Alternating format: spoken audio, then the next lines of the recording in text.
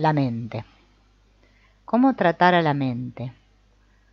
Trata a la mente como un objeto externo, casi independiente de tu persona. Por ejemplo, decirle a la mente, ¿no? Bien, aquí está mi mente otra vez, o mi mente se está preocupando de nuevo.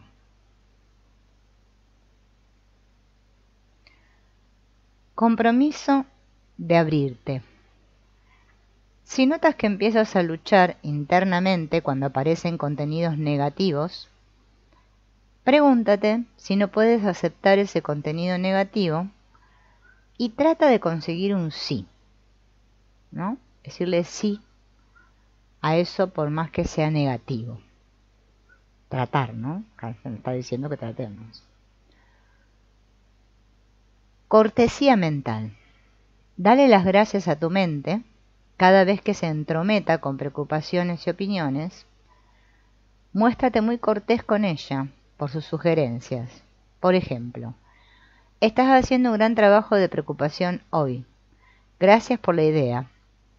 Y esto no es un sarcasmo. Después de todo, tu máquina de las palabras está haciendo aquello para lo que fue diseñada hace miles de años resolver problemas y evitar peligros. Entonces decirle gracias a cada pensamiento también es una buena estrategia. ¿no? Entonces parece a lo del Hoponopono. Bien. Simplemente darse por enterado. Utiliza el lenguaje de observación.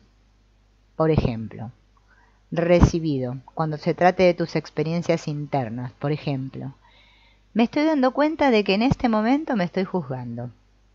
O sea, darme cuenta de que en este momento uno se está juzgando, ¿no?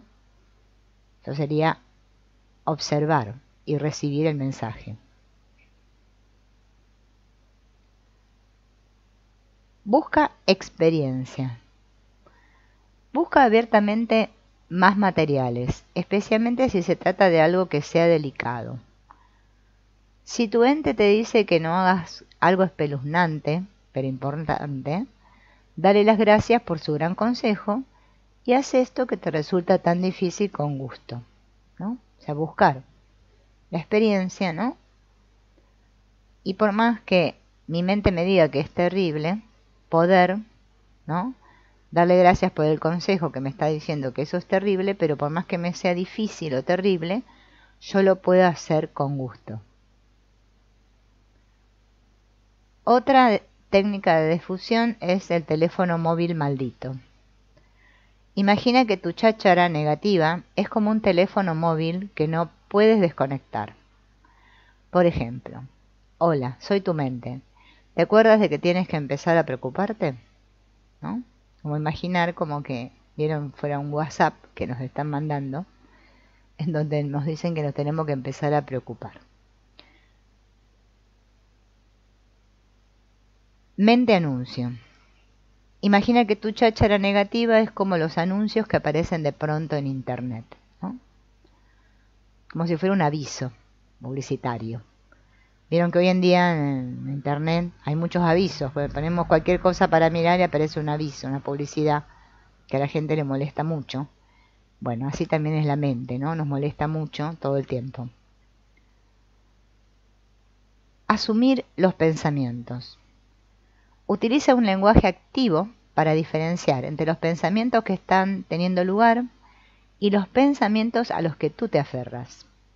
Por ejemplo, creo que estoy asumiendo el pensamiento de que soy malo. Lo estoy asumiendo. Si me aferro a ese pensamiento, poder diferenciar, ¿no? Asumir que estoy teniendo ese pensamiento. Sacarlo fuera. Anota una evaluación negativa de la que estés dispuesto a desprenderte. Por ejemplo, mezquino, estúpido, mala leche, indeseable, etc. Y anótalo en una etiqueta y llévala puesta. No des explicaciones a nadie durante una temporada hasta que sientas que haya desaparecido esa etiqueta, ¿no?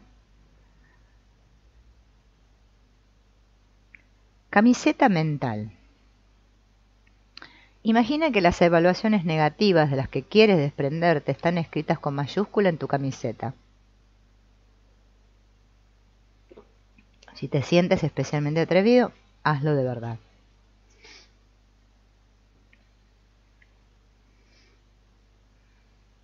Piensa en lo contrario.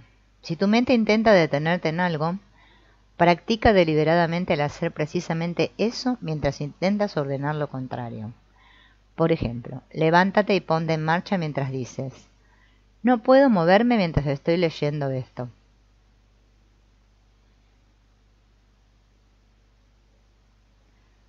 Los pensamientos no son causas. Si un pensamiento parece que se convierte en una barrera para la acción, pregúntate a ti mismo, ¿será posible mantener este pensamiento como tal pensamiento y sin embargo hacer X?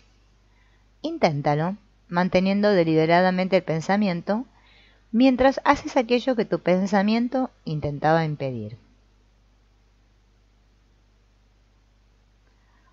Monstruos en el autobús. Trata los acontecimientos internos, espeluznantes, como monstruos que viajan en el autobús que vas conduciendo. Mira si puedes mantenerte conduciendo en lugar de hacer lo que ellos dicen o de intentar conseguir que se vayan.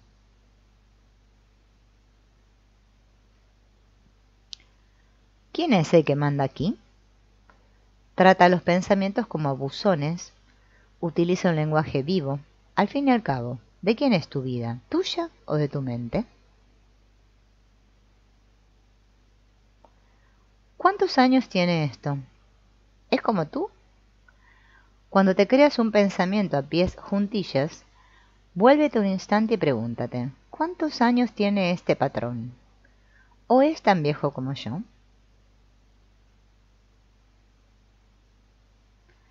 ¿Y el servicio de qué está esto? Cuando te aferres a un pensamiento, vuélvete un momento y pregúntate, ¿creerme este pensamiento está al servicio de qué cosas? Si no está al servicio de tus intereses, deja de aferrarte a él. Ok, tienes razón. ¿Y ahora qué? Si estás luchando por tener razón, incluso aunque eso no te ayude a avanzar, imagínate que la reina blanca ha decretado que tú tienes razón. Ahora pregúntate a ti mismo, bueno, ¿y qué? ¿Qué puedo hacer para crear una vida más valiosa a partir de ahora? Sal de tus peros. Reemplaza prácticamente cualquier pero que pongas con un i. Es una buena estrategia, ¿no? Porque el pero es una, una, una palabra que está muy siempre en nuestras mentes, ¿no? Reemplazar todos los peros por un i. ¿Por qué? ¿Por qué? Esta es la gran pregunta que nos hacemos todos, ¿no? ¿Por qué? ¿Por qué? Si descubres que tus razones, por qué, te están envolviendo, pregúntate repetidamente por qué se produce el acontecimiento y por qué funciona como lo hace hasta que llegue a resultarte difícil responder. Puede ayudarte el ver lo superficial que llega a ser realmente la historia y cómo la evitación experiencial genera el dolor de ausencia. Por ejemplo, no puedo hacerlo. ¿Por qué? Me siento ansioso. ¿Y por qué eso significa que no lo puedes hacer? Ah, no lo sé.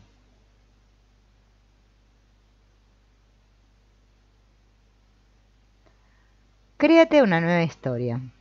Si te encuentras enredado en una historia lógica, pero triste sobre tu vida y de cómo las cosas han llegado a ser lo que son, escribe la historia habitual y a continuación Selecciona todos los hechos descriptivos y utilízalos para crear una historia distinta. Repite el proceso hasta que te sientas más abierto a nuevas posibilidades con tu nueva historia. ¿Por qué habrías de ser perfecto? Si estás luchando con ser perfecto, aunque eso no te esté ayudando a avanzar, pregúntate, ¿por qué habría de ser perfecto? ¿Qué debería ser más bien? ¿Perfecto o vivo y vital? Intenta no pensar X.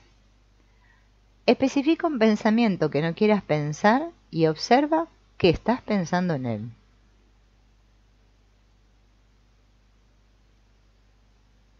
Encuentra algo que no pueda ser evaluado. Si te enredas en evaluaciones negativas, mira a tu alrededor y observa que cada cosa que ves podría ser valorada negativamente si decidieras hacerlo así. Entonces, ¿por qué tú habrías de ser distinto? ¿Es solo para esto para lo que ha evolucionado la mente? ¿Y cómo me ha funcionado? Cuando estés aferrado a un pensamiento, pregúntate, ¿cómo me ha funcionado esto? Y si no te ha funcionado bien, pregúntate, ¿por quién debería guiarme? ¿Por mi mente o por mi experiencia? Llevar tarjetas. Anota pensamientos problemáticos en tarjetas de visita y llévalas contigo. Utiliza esta práctica como una metáfora de la posibilidad de ir cargando con tu historia sin perder la capacidad de controlar tu vida. Llevar las llaves. Asignales pensamientos y experiencias problemáticos a tus llaves. Luego piensa el pensamiento como tal pensamiento cada vez que utilices las llaves. Sigue adelante acarreando tus llaves y tus pensamientos. ¿Cuándo tenemos que utilizar esto de la defusión? Como la fusión está en todas partes y a todas horas, aplicada a todo e imparable, no nos damos cuenta de ella. He aquí algunas claves que te indicarán cuándo te estás fusionando con tus pensamientos. O sea, ¿cómo puedo hacer para darme cuenta, ¿no? Que me estoy fusionando para poder aplicar estas estrategias de defusión, ¿no?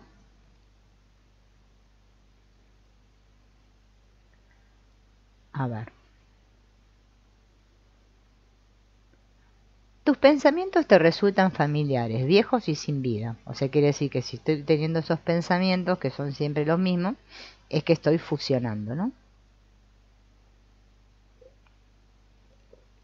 Te sumerges en tus pensamientos y el mundo exterior desaparece durante un rato. Tu mente es comparativa y evaluadora.